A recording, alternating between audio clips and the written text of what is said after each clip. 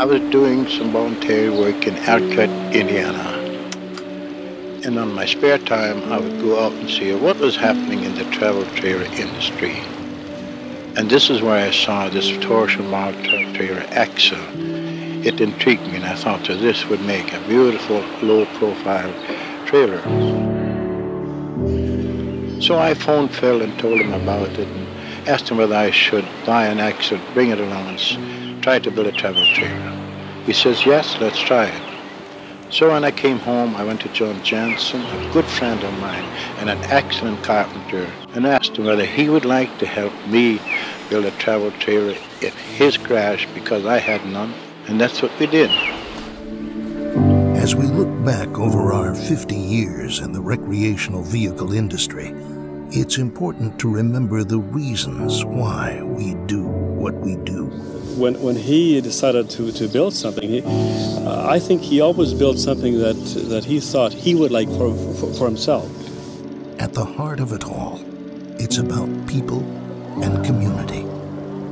And we ask ourselves, what do we want people to feel? We want people to feel joy, love, companionship, adventure, awe, comfort, connection, and safety. We are forever reinventing ourselves, and every day we strive to provide quality, value, and innovation. We are committed to our community of employees, suppliers, our local community, dealers, our customers. The job is always evolving. Behind every idea, good and bad, there is progress. Behind every innovation, there are countless hours, ideas, sketches, and revisions. Each day, we put our utmost love, care, and commitment into every unit that rolls off the line.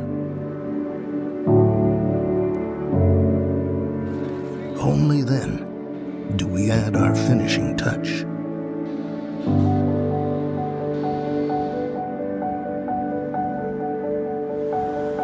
May your travels be boundless and bountiful.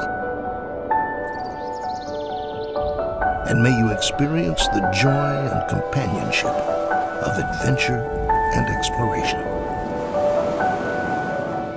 Explore new roads, new possibilities, and new ideas. Come, explore